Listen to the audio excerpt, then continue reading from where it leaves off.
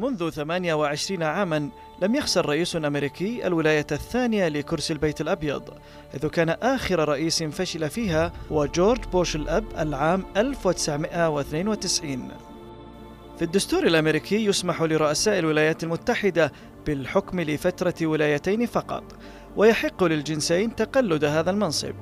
إلا أن عشرة زعماء في تاريخ الولايات المتحدة فشلوا في إعادة انتخابهم لولاية ثانية.